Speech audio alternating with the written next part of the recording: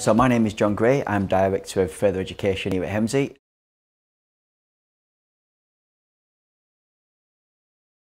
I think it's absolutely critical and I think it's become even more important in the minds of some senior managers since um, the introduction of the new Ofsted framework.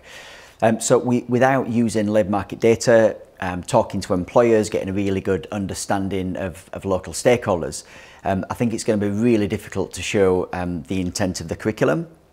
Um, so uh, I say to colleges, you need to get a really good benchmark. You need to understand um, where you are now and where you're moving to.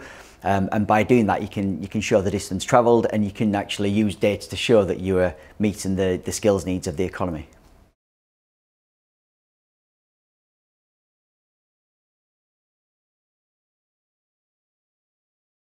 I think there are a number of things really. Um, the, the most fundamental thing is to make sure that the curriculum is aligned with um, the needs of the local, regional and national economy. Um, and to do that, you've got to get a good baseline and a good starting point. So using labour market data um, as part of the planning process is, is critical to getting that and um, getting that initial understanding of what's happening within the economy.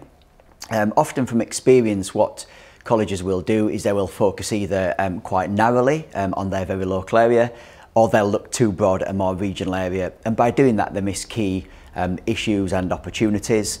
Um, so what we always say is to start off quite broad and, and then work your way into to quite a level of detail.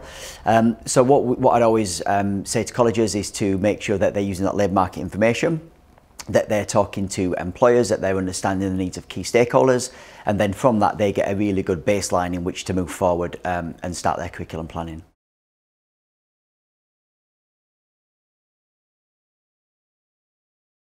Emsi helps colleges with curriculum intent in a, in a, in a number of ways. So our data is, is very sophisticated. We can um, drill down to very localised data on very particular industries and occupations in very specific geographic locations, um, but we can also take the much broader regional view and national view. So we can make sure that colleges have a really holistic look at the skills needs um, of, of the local and broader economy.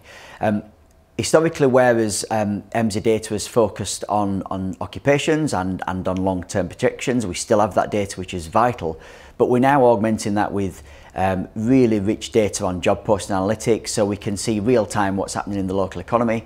And, and that's critical to making sure that um, colleges can build in those skills needs and knowledge needs into their curriculum.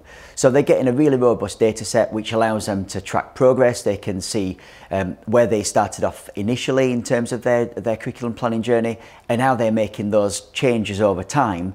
Um, so they'll be able to talk to Ofsted um, and other stakeholders about how they react into that, that intelligence and making changes to inform their curriculum, um, making sure that they're meeting the regional and, and local skills needs.